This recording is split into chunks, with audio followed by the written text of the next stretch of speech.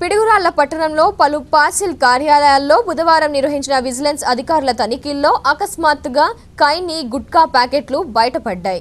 ఈ విషయాన్ని విజిలెన్స్ ఏవో వెంకట్రావు ఫుడ్ ఇన్స్పెక్టర్ శ్రీనివాసరావుకి సమాచారం ఇచ్చారు. ఫుడ్ ఇన్స్పెక్టర్ హాజరై గుట్కా కైని ప్యాకెట్లను స్వాధీనం చేసుకున్నారు. వీటి విలువ ఒక లక్ష రెండు వేల ఎనిమిది వందల అరవై నాలుగు ఉంటుందని ఫుడ్ ఇన్స్పెక్టర్ శ్రీనివాసరావు తెలిపారు. ఈ సరుకును గుంటూరు తీసుకువెళ్ళి కాల్ చేశామని ఆయన తెలిపారు.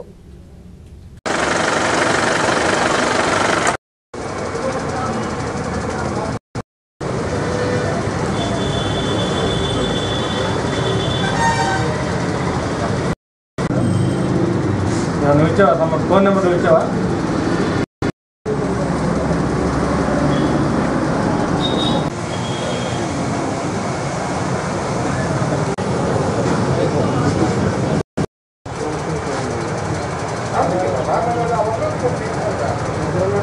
క్యారెట్ బాగుంది